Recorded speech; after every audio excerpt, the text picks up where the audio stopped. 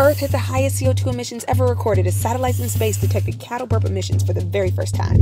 Yet another study came out proving that Neanderthals ate a high carb diet of starchy foods at least 600,000 years ago, fueling the expansion of their brains. A new report revealed how meat producers made baseless claims of meat shortages to keep their facilities open during the COVID pandemic, causing countless more deaths among meatpacking adjacent communities. An accidental discovery that scallops are attracted to disco lights has led to the development of new fishing techniques exploiting this natural trait. The U.S. has spent more than 2 billion on a plan to save salmon, but they are vanishing anyway. Europe's chicken supply chain was found to have a human rights problem, according to a report by Earthsight linking its killing of indigenous people in Brazil. A new study showed that replacing just one fifth of global beef consumption with microbial protein could halve annual deforestation. New York City joined the Planetary Health Diet with 100 cities worldwide who agreed to fight climate change through food by serving predominantly plant based nutrition.